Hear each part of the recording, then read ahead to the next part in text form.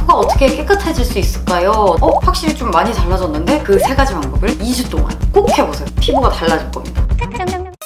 안녕하세요 샨토끼입니다 오늘은 정말 정말 문의가 많았던 주제입니다 바로 블랙헤드에 대한 주제인데요 제가 사실 이 주제를 정말 몇 달간 벼르고 벼르고 있었습니다 언니 코가 어떻게 깨끗해질 수 있을까요? 맨질맨질해질 수 있을까요? 굉장히 질문들을 많이 해줬어요 제 개인적으로도 그래서 정말 알려주고 싶었는데 제가 개인적으로 쓰는 방법도 있지만 좀 더 다양하게 여러분들께 알려드리고자 특히 오늘은 저처럼 피부가 민감하신 분들 중에 이 블랙헤드, 화이트헤드가 있으신 분들 주목하시면 좋을 영상이 되겠습니다 순도 100% 저의 체험에 의한 영상 같이 가시죠? 깡총!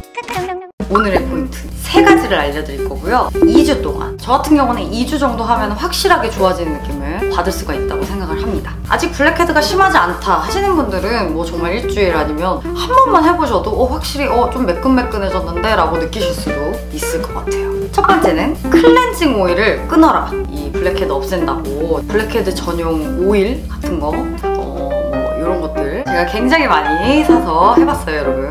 나 얼굴 빨개져서. 전혀 효과를 보지 못했습니다. 돈만 버렸어요. 그래서 제 첫 번째 의견은 클렌징 오일을 한번 끊어보시는 게 어떤가 하는 의견인데요. 사실 저도 이렇게 막 찾아보면서 여기에 좋다는 뭐 호호바 오일 무슨 오일 굉장히 많은 클렌징 오일들을 써봤어요. 근데 저는 효과를 못 봤고 오히려 어쩔 때는 좀 안 맞는 성분 같은 경우에는 얼굴이 더 번지기도 하고 그랬던 경험이 있거든요. 여러분들 중에도 그런 분들이 계실 거예요. 현재 쓰고 계시는 오일이 좀 안 맞는다는 생각이 드시면 은 걔가 원인일 수도 있습니다, 여러분. 오일을 2주 정도만 한번 끊어보세요. 끊어보시고 어? 뭔가 얼굴이 뒤집어지던 게 없어지는 것 같아. 좀 블랙헤드가 사라지는 것 같아. 오히려 잠잠해지는 것 같아 하시면 그게 맞습니다. 그게 원인이 맞고요. 그러면은 클렌징 어떤 거 써요? 라고 물어보시면 저 같은 경우는 요즘에 이렇게 패드로 된 거 있잖아요. 이런 식으로 워터가 적셔져 있는 패드들 많이 나와 있잖아요. 그런 패드를 쓰시는 게 좋을 것 같습니다. 워터 타입 클렌저를 쓰시는 거를 추천을 드리도록 하겠습니다.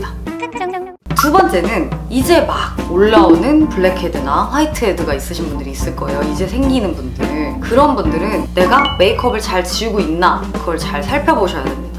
특히 코 부분 같은 경우엔 자 우리가 이렇게 이렇게 세안을 하죠. 그럴 때 사실 제일 튀어나온 이 부분이 잘 안 닦일 수가 있어요, 여러분. 저도 이렇게 세수하다 보면은 여기 부분만 이렇게 파운데이션이 남아있어요. 잔여물이 많이 남아서 그 부분이 이제 피지들이 쌓이는 거죠. 같이 각질층이랑 같이 해서. 그렇기 때문에 메이크업을 정말 꼼꼼하게 잘 지워줘야 되는데요. 메이크업을 평소처럼 지우는 것도 중요하지만 추가로 약간 요런 블랙헤드 전용 세정제들이 있어요. 저 같은 경우에는 이걸 되게 오랫동안 사용했어요. 제가 전에 올리브영템 추천 때부터 제가 사용해보고 너무 괜찮아가지고 추천을 드렸었는데 블랙헤드를 겨냥해서 나온 세정제들이 있어요. 꼭 이 제품이 아니더라도 분명히 올리브영 가도 많이 있을 거고 이렇게 코 부분만 따로 세정을 해주시는 게 좋습니다. 그리고 하나 더 추천드릴 거는 이런 것들을 써주시면 좋아요. 이런 식으로 생긴 걸 저는 쓰고 있는데 메이크업 세정 전문 기계들 있죠? 이런 식으로 뒷부분에 이렇게 좀 미세하게 돼 있어가지고 블랙헤드 전용으로 쓸 수가 있는데 이 기계를 사용하시라는 게 아니라 메이크업 세정 전문 이 기계들 많이 나와 있잖아요. 얼굴 전체도 나와 있고 뭐 브러쉬를 좀 바꾸면 코 부분만 따로 할 수 있는 것도 있고 그래서 코 부분을 굉장히 열심히 세안을 해준다.